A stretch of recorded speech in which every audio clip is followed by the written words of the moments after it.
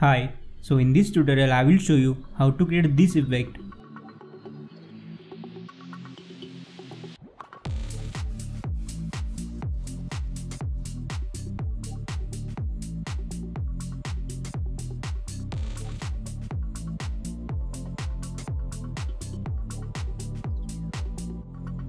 So now let's start without any delay. First drag the photo on timeline. Now go to the effect controls and change scale to 120. Then duplicate the layer and select duplicate layer and create a mask around the person.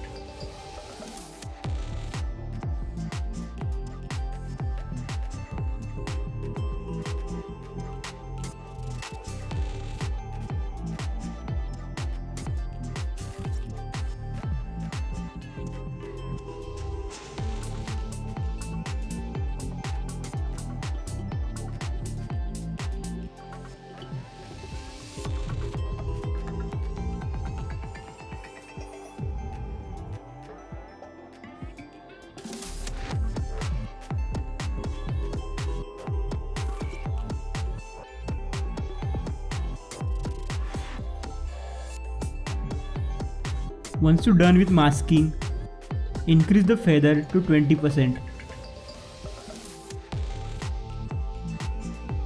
Do not increase more than 20. Now click on the stopwatch icon and set your time ruler in the middle. Then increase the scale to 140.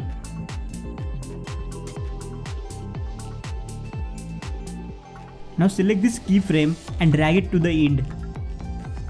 Now set your time ruler in the starting again. Then select first layer. Go to the effect controls. Click on the stopwatch icon. Then set your time ruler in the middle. And change scale value to 100. Then select and drag this keyframe to the end. Yes, and it's done. And if you're new on this channel then do subscribe for more easy tutorials like this.